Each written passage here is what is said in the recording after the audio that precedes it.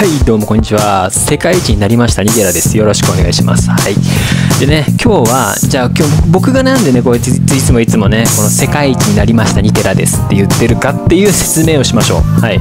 これ、ただ漠然と僕の頭がおかしくなって、連呼しすぎてるんじゃないかなって思ってる方、それも正解です。はい。それも正解です。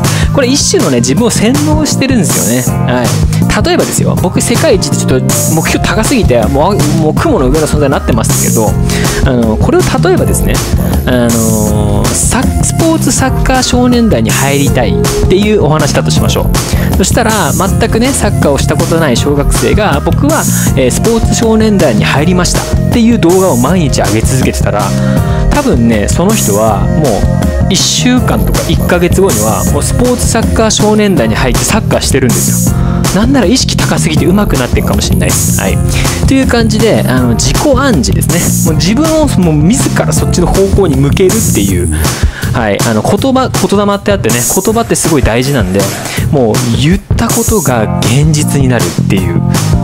これねあの嘘だと思うと思うんですけど僕も嘘だと思ってます。ただあのこれ結構本に書いてあることなんですよ。はい。あとオリンピック選手誰か忘れたんですけど、まあ、申し訳ございません。誰か忘れたんですけどあのオリンピック選手金メダル取った人の冷蔵庫には必ず、えー、必ずっていうか冷蔵庫の冷蔵庫には金メダルを取りました。なんとかなんとか。ってこう名前が書いてあったっていう話もあるぐらいね。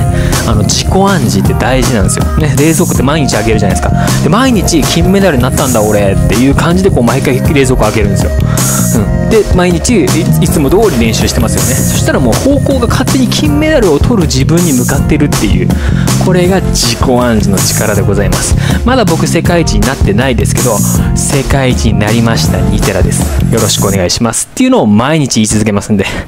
はいよろしくお願いします。じゃあね。